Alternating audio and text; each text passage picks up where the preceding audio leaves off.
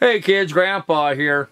Hey, I was reading the comments on my last video and uh, one of my viewers asked me a question.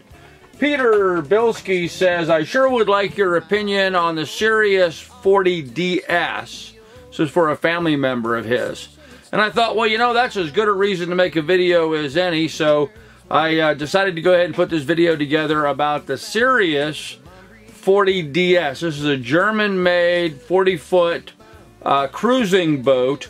And I remembered recently I'd seen an article, apparently it wasn't that recently, from 2015, where Bob Perry had talked a little bit about the boat. Let's take a look at that article. Alright, so the first thing we see is a Sailing Magazine article on the Sirius 40DS by Bob Perry. One of the comments he made was that the hull was blocky with a lot of freeboard, and that kind of bothered me. I don't like a lot of freeboard on a sailboat. Then he goes on to talk about the fact that the compartments seemed like they were very tight inside, and that's just a function of the layout. And lastly, he talks about all the different configurations available in with a suggested retail price of somewhere around the $600,000 mark. Okay, so let's take a quick look at some of the other options, the keel configurations on this boat. Uh, they offer a number of different keel configurations. They offer the standard keel, then they offer a twin keel, and then they also offer a swing keel, which I think would be my first choice. So I guess I'm a little confused with all the different options for inside the interior and then the different keel options. You know, this really is sort of a custom boat being built. Um, but you know what? The company has a video out uh, talking about this boat. Let's go ahead and check out this video.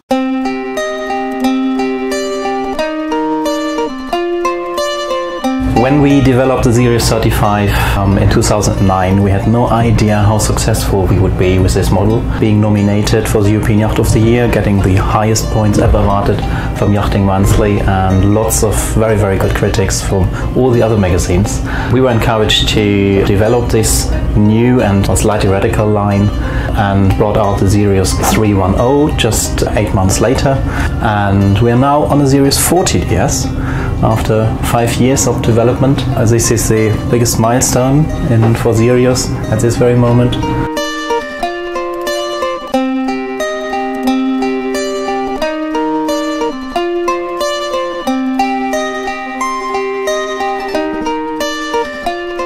So we are now in a saloon of our Sirius 40DS, um, which is like on all other Sirius deck saloon yachts. Here we have the saloon uh, very raised up so that you have a perfect contact, a perfect eye level to the to the crew who's sitting in the cockpit. The main thing here to understand is if you sit down in a saloon, standing up in a galley, um, sitting at the interior helm, or sitting up in the cockpit, you're always on the same eye level. And around this very eye level, we have designed the big windows at 360 degrees, which makes this such a nice living space in here. So sitting in the saloon here, um, this is the nicest place to be, of course in the harbour or in an Anchorage um, but also at sea because um, if you pop down here and have a book, um, stay out of the wind, out of the sun, or out of the weather which you don't like, um, you feel very comfortable in here. You don't get seasick because you stay warm, you have the visibility outside, see the horizon, and we don't have these eight steps down into the boat. It's just easy to walk out through the door, no washboards, and join the crew outside. Um, on the other hand, this is a very, very comfortable place to be if you want to be social. Um, this, for example, um, is our evening table if you're just on wine and chips. But if you want to dine with six or seven person, you just take the table out and push it together, and then you have a very big and very solid table. Even if it's collapsible, this is a very, very strong stronghold here. You can lean on it, and um, that easy. It's single hand movement just push it back and have enough space to sit very comfortable here and put your legs over each other. We're here in the galley of the 40, um, uh, same visibility out here, so even when you're on passage you can prepare some, some dinner or or lunch in here or just make some dips or prepare things for being in the harbor. Um, the good thing here, um, you can brace yourself um, very, very easily all the way through and you can actually, if you have to walk through the boat um, on um, uh, a passage, you have very good handhold here. The galley is equipped on the 40 really with everything you could look for. So we have a 130 liter um, proper fridge front opening here we have a 50 liter ice box down here, which could go to minus 20, but could also chill your wine at um, 11 degrees or um, be another fridge. We have four burner cooker um, down here with a nice oven um, in here, which includes a grill. We have a microwave, including a grill as well on the other side, and a small nice gadget here. We have the space to have a proper dishwasher in here, which is really good sized. The special thing on the galley is also because of our saloon design. Um, we have deep um, um, bilges down here, which are perfect use for storage. Um, have a look down here. We have lots of cradles um, in there. We have more space for food around here, and that goes on literally all the way. Um, before we came from Germany, we put um, 930 kilo of drinks and food and brushes in here. This is very nice, accessible and very good accessible, so you don't have to get your guests up if you want to go to the next bottle of wine, um, because it's not under cushions, um, but very, very easy to reach to. Working on the galley, you have very short ways because this is your table where you can put things. Here's another place to put things. And um, me, like cooking very much, um, I always want to have a bin um, which is easy accessible, which I can leave open and put things into, which have a decent size, 65 liters here. And there's another one for cleaning tools around there, which holds back always something people are um, stunned about are all the fittings for dishes and the amount of space we have in the drawers. So most of our customers um, bring us their crockery and crockery and we try to find a way um, to fit that in. Um, this is all very practical design here. Um, very short waves, all the things you want to have on the table here are just right here pots and pans fitted in here. All self-closing drawers even if you jam them closed they just go like this this were our sweet sinks salty sinks in here. And these are the two drawers dedicated to the navigation sta station. Already crammed with lots of things in here so same as for the saloon and the galley, um, goes for the interior steering position. Um, it's directly at the entrance when you come down. Um, you have the perfect view, perfect visibility around here, so you could um, have a good view under the sails from here. You have a sliding hatch out of glass on top of you where you can see the mainsail and even the Windex. And you have the possibility to um, brace yourself here very nicely on a saloon area, have your inside steering here and have your throttle control just on the side here. It is possible to get a wheel if you want to have that, but then the chart table have to face backwards. Here you just um, adjust the seat to your height uh, or to your wished visibility. If you turn around here, you have a big chart table with a big chart box under here um, where you can store your charts and have a good view outside here, have all your controls on the side here, and again the possibility to steer the boat on this auto helm control here. This is actually not only um, control of the auto helm, it is also control of the rudder directly. If you press the power steering button, then you're overrunning the autopilot and have the possibility to steer the boat, steer the rudder directly without the autopilot, making uh, slightly raining, waiting in front of a bridge, lots of turns and swivels around the boat, just sitting in here. So directly at the entrance we have an oilskin locker um, which is actually heated directly um, by the heating and just in front of that um, there's another locker also heated by the heating for all your life jackets and your rubber boots. The special room is for sure our workshop or technical room which gets lots of thumbs up at the boat show. Um, actually you can't see it, it's hidden down here but you just have to pull up the seat and push this up and then you could actually walk down um, into the men's shed where you can sit on a toolbox, have all your filters around here, all the technique built in here, anything which needs service, um, a little vise, and lots of storage um, for all the spare parts and um, all the tools which you might want to have here.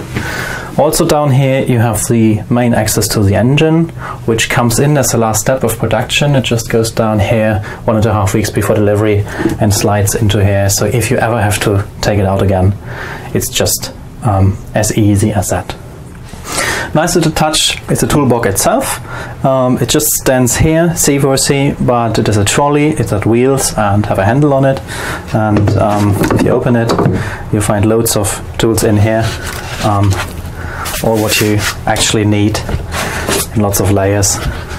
Very well organized, and if you're not the only one using it, you see exactly what is missing at the end of the day. So for access to the dipstick, um, it's just here on the um, starboard side of the entrance, um, so you don't have to open the workshop or um, or the motor, the engine room. You just have a door um, which leads you into this directly.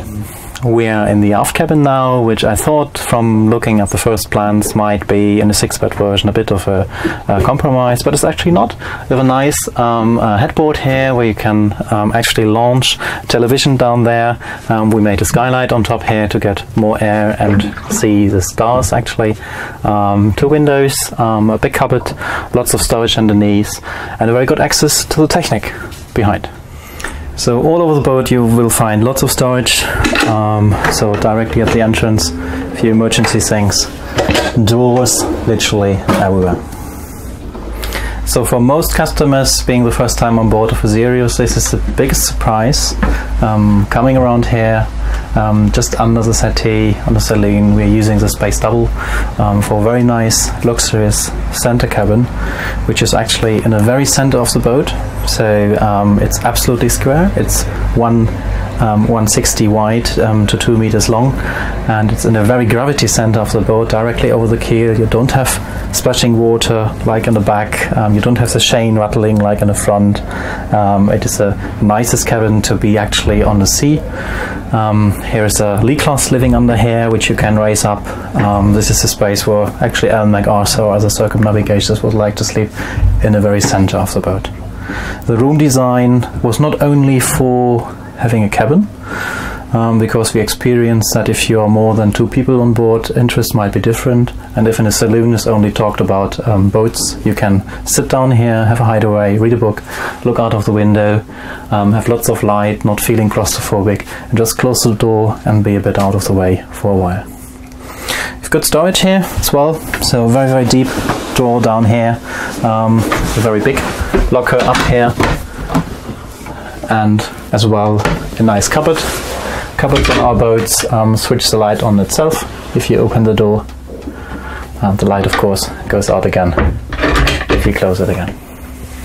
Standing height in all our boats is very comfortable on a 40. You have nearly 2 meters in all of the rooms, head, head height, and good view out of the windows here. Big hatches everywhere, which um, have a fly gaze and a screen on the other side to blind the light out. We are in the front cabin now, whereas on all our previous um, and smaller saloon yachts, um, the center cabin is the owner's cabin. This here is the owner's cabin on the 40. Um, you have a very, very wide, um, big room which goes up all the way to the mast. There are lots of different interior versions. You can choose lots of bed layouts as well. Um, see that in our brochures and our plans on our website. So despite of the big um, hanging lockers on both sides, you have um, nice drawers under here, um, which are very deep and very easy to organize. Um, there's storage under the floor plates, under the seats as well. And a clever thing here, normally if you come into boats, the front bed is very, very high up, so you actually have to climb in. This is because of regulation. You have to have a special distance to have your emergency exit.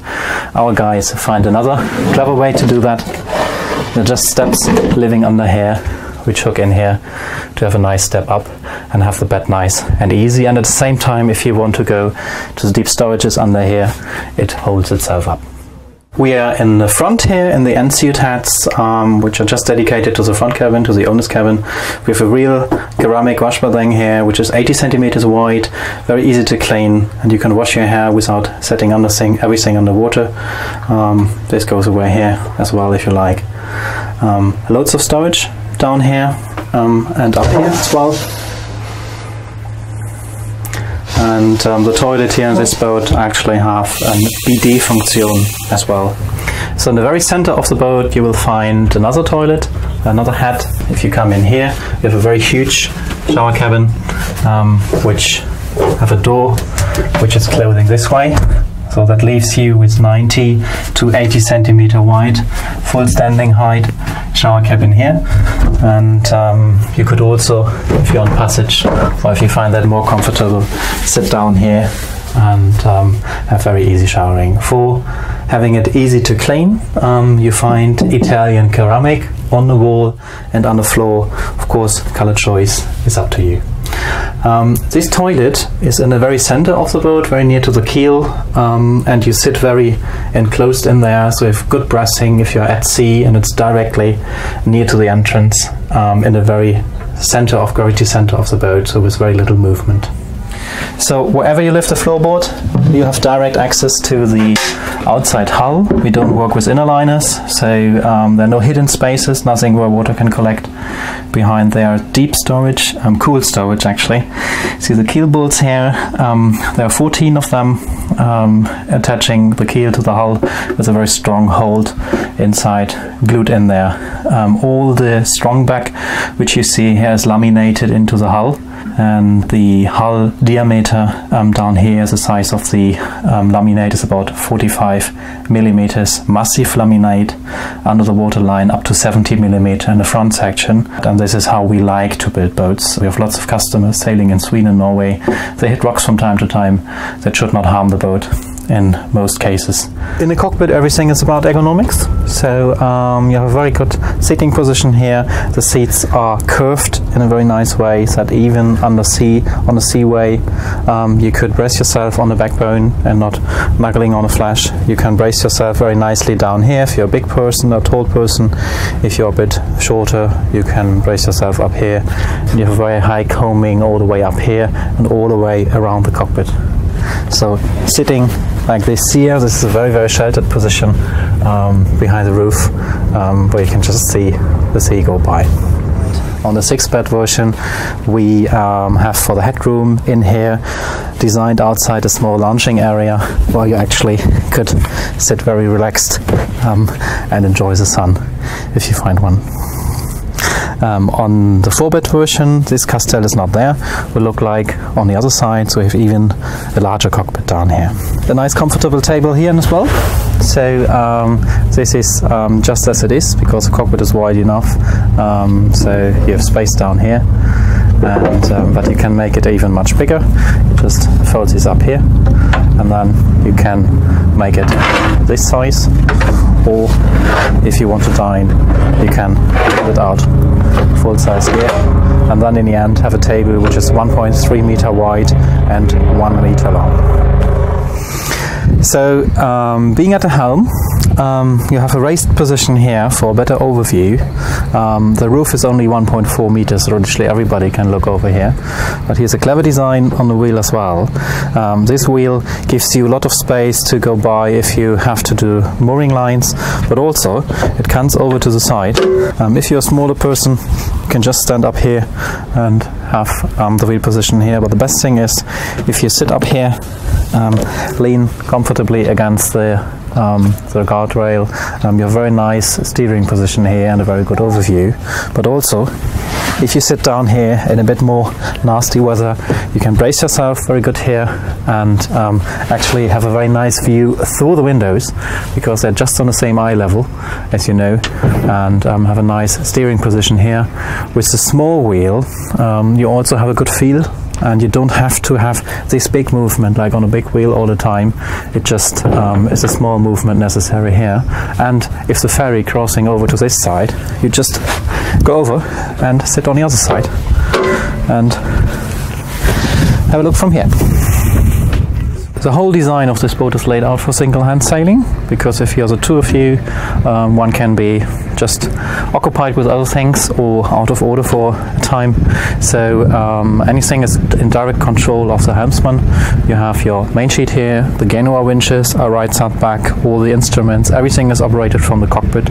Um, your bow thruster, um, your electric furling control here, and if you sit over to this side or even forward, um, you can take the whole um, plotter housing here and cunt it over to this side or put it down here or even if you're sitting in a lunge position just bring it over there so that you have visibility from wherever you want to the datas you have to have thinking about transom, I always hated the idea of heading, uh, having a bathing platform which I have to bring down for going into the harbor. For that reason, we constructed this boat in a way that we already have a transom with a decent bathing leather. And if you go into the harbor, you just open the door and um, have an easy way out here without having extending parts to the back. But if you want to have your sea terrace and um, if you're on the anchorage or in a harbor and you want to have all this open, you just lock the door this way and then you have your operation here on this board It's an hydraulic, so you just press the button and the whole thing goes down. Even if it is halfway up, you can stand on this with three or four persons. It's no problem at all. It's made for that. Um, this is absolutely rock solid. Um, to go down here and you have a very very huge bathing ladder down here which goes about 1.5 meter deep into the water so this is very easy to come up and you have very good solid grub rails um, to um, use the cockpit for bathing or swimming. So on a six-bed version you have one very very big very huge cockpit locker down here which takes easily two folding bikes and um, lots of extra sails, um, rubber dinghy, onboard engine, lots of big boxes here where you can store things in, hangers for the ropes. Um, all your fenders and all the wet things can go to the front locker. We have a big deck Dexlast at the front where you could store bigger and wetter things as well as I did not like the idea of having the wet fenders and ropes in the cockpit where they could stain my folding bikes or things which I have in there. Um, you have a big deck storage in here in the front um, which easily um, takes um, all the six fenders, all the ropes. You find hangers here, um, the controls for the electric winch. Um, this electric winch is a standard one um, on this boat, 200 meters of uh, 10 millimeter chain here in the front. Could take more if you really need to. this is all covered under the deck, so if you get your anchor up, you're not getting all the mud on deck. no sheets are catching the winch. It's all nicely and clean down here. Also you have the gas locker here for two big gas bottles over each other and lots of other space for other bits and pieces you like to store here. If you're standing here raising the anchor, um, you have a very good bracing position, just looking over here um, and see what you're doing Thank you for watching um, the video of our Sirius 40DS. If you like to have more um, information, just um, give us a call or send us an email. You find more pictures and lots of more things to explore on our website at www.sirius-werft, that's W-E-R-F-T dot D-E. Bye. Okay, so some really cool things to point out on the boat. It has tremendous storage and use of space. The keel bolts are accessible, which I really liked. I really like that wheel design, and I really like the flush deck up on the bow. Now, the only negative thing that I came up with with looking at this boat was that the uh, the main sheet traveler. There's really no main sheet traveler, uh, and that's the only negative that I could come up with on this entire boat. I think it's a pretty awesome boat. I uh, reached out to some folks at some of the live streams that I was on this today, asked their opinion of it because uh, it, it's a lot of money. It's a lot of money for the boat. And the general consensus is, you know what? It's worth it. It may be a lot of money for the boat, but the boat is worth the money. So uh, everyone thought it was a pretty good deal. So anyhow, I thought you might enjoy taking a look at this uh, Sirius 40 deck saloon. Pretty awesome little boat. Very expensive. Uh, new. I saw a used one for sale. Um, 37, 35, 37 foot boat uh, right now in Germany for sale for about 145,000 US. Um, so that's a pretty good value, actually, um, considering how much the 40s are, are going for. Uh, but you know, you, you have infinite options and you can lay it out any way you want to and have whatever on the boat that, that you'd like. Um, so it's, you know, it's pretty awesome in that regard. So anyhow, I'll bring more of these videos here in the near future. If you like this kind of thing, please do like and subscribe and we'll have more for you later. Thanks guys.